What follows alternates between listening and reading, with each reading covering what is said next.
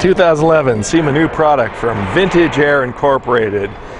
Generation 4, 1964 to 87 Chevy truck, SureFit, heat cooled defrost system.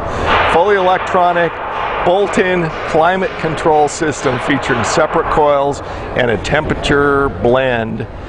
Door to delivery instant, just right. Comfort in any weather. 64 to 72 kits convert factory control panel to fly-by-wire operation and 73 to 87 kits include new slide lever control panel.